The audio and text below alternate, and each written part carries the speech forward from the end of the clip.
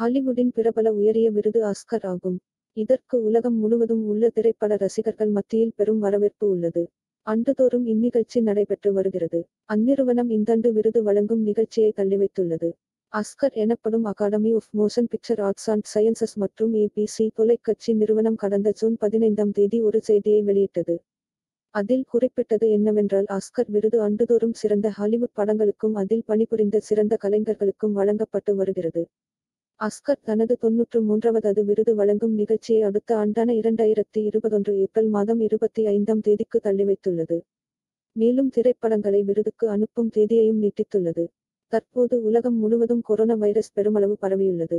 இது ஹாலிவுடையும் பாதித்துள்ளது. அஸ்கர் தலைவர் டேவிட் ரூபன் மற்றும் தலைமை நிர்வாக அதிகாரியுமான பொன் ஹட்சன் இணைந்து வெளியிட்ட அறிக்கையில் கொரோனா வைரஸ் காரணமாக திரைப்படங்களை விருதுக்கு அனுப்பும் காலத்தை நீட்டித்து விருது வழங்கும் நிகழ்ச்சியை தள்ளிவைத்துள்ளோம் எந்தவொரு அபராதமும் விதிக்கப்பட மாட்டாது இது கலைஞர்கள் களங்கமால் தங்களது படங்களை முடித்து வெளியிட்டு விருதுக்கு அனுப்ப நல்வழிவகுக்கும் என்று குறிப்பிடப்பட்டுள்ளது.